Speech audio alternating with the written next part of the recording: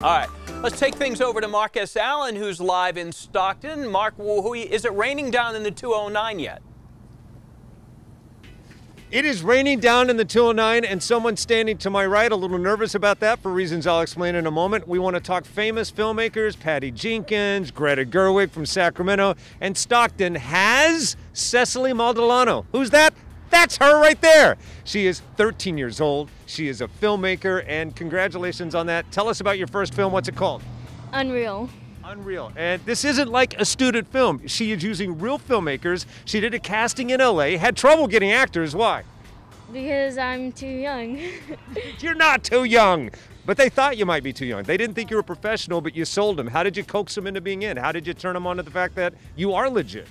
Because now that they're seeing that I'm like with talking to you and doing all this other stuff and they just think now like oh it is cool you know? So well, here's why i say you're not too young. Take a look at this. This is steven spielberg's first movie. He made this movie when he was a teenager uh, just rounding up friends. Uh, now keep in mind this does look more like a student film Whereas your film, and by the way, I'm about to show some images of her movie, they are what we call dailies. The movie hasn't been fully produced out yet, and they already look remarkable. Talk about what we're seeing. We're looking at some clips from your movie.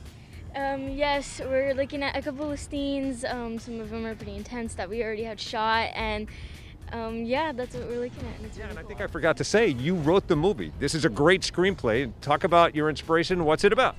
It's well, it inspired me. I had a I've always had this one thought in my head and I just kept on adding on to it and then just it just came up, you know? Yeah. You know what? You're getting drenched out here in the rain. You're nervous about the rain. Why? Um, because it's gonna mess up with the microphones and it's just she's shooting this weekend and she can't burn time because it's expensive to make a movie especially an independent film like this